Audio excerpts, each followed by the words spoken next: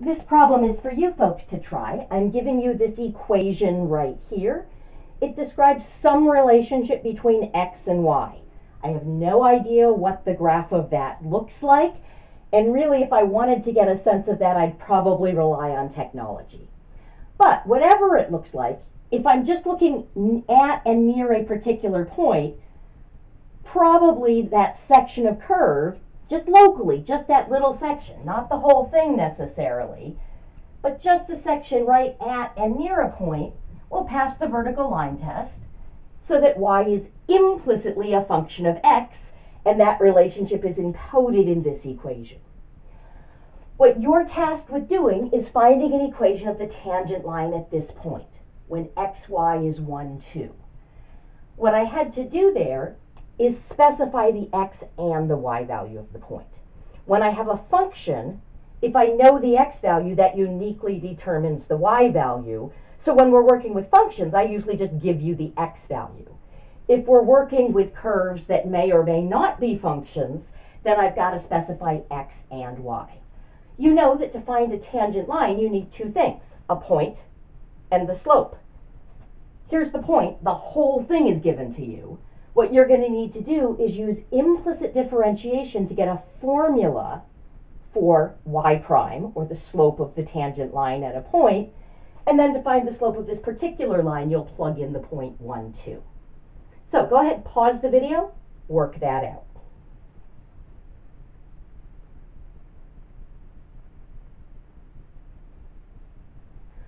Once again, I kind of like to put the y in parentheses here that just helps me remember that that's different from my variable x. That's representing some function of x. Often that's going to be the inside part in a function composition, although it's possible that I just have some copies of that function as well. Once again, this equation is saying this function of x equals that function of x, so I know that their derivatives should be the same.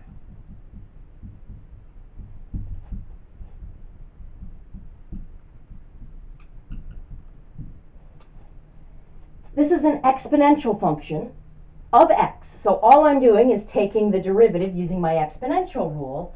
I know I'm getting a multiple of that same exponential function, but because the base isn't e, the constant that I'm multiplying by is the natural log of that base.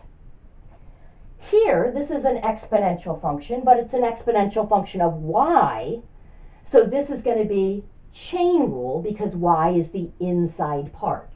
So this will be that same exponential function, 3 to the y, multiplied by the natural log of 3.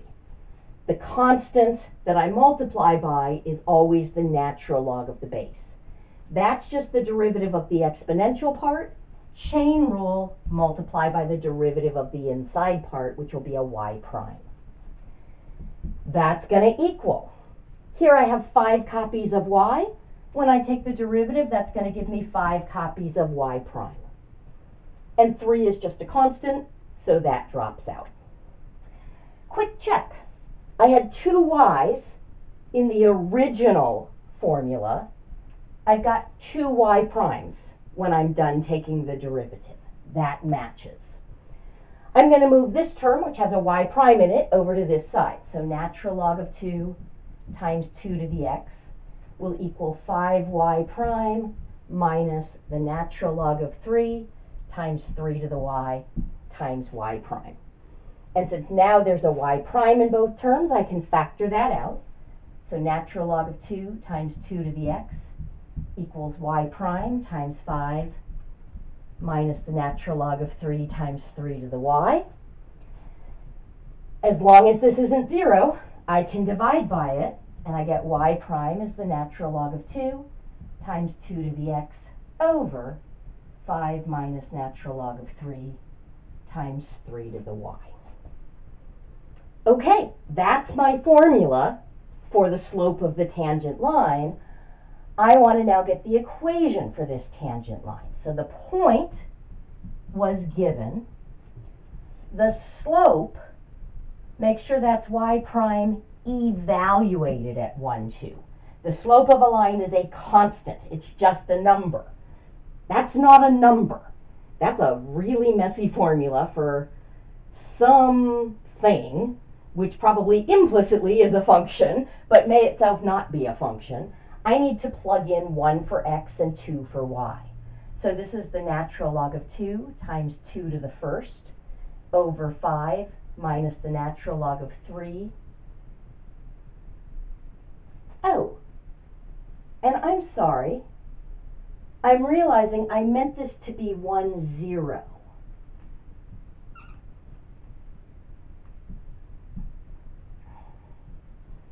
I'm going to adjust that. I apologize. Here's what's happening. If I plug in 1 for x and 0 for y, this becomes 2 to the first is 2, 3 to the 0 is 1, 2 plus 1 is 3. 5 times 0 is 0, plus 3 is 3. 1, 0 is on this curve. 1, 2 isn't, because that would be 2 to the first is 2, plus 3 squared is 9, 2 plus 9 is 11, 5 times 2 would be 10, plus 3 is 13. Okay, so what I had written here was, you know, the whiteboard version of a typo. That was a point that actually wasn't on the curve. This is a point that actually is on the curve. I had thought that, and somehow I had just written 1, 2. Ah, okay, um, let's see. So 5 minus natural log of 3 times 3 to the y is going to be 3 to the 0. So let's see, 2 to the first is just 2, so that's 2 natural log of 2 over 5 minus the natural log of 3, because 3 to the 0 is just 1, times natural log of 3 is natural log of 3. Excellent, so that's my slope. So then, to get my equation for the line, I'm just going to use point slope form. So rise is equal to slope times run. Rise is going to be y minus 0. Slope is 2 ln 2 over 5 minus ln 3 times the run is x minus 1. So that's just y equals this lovely number, which is our slope, times x minus 1.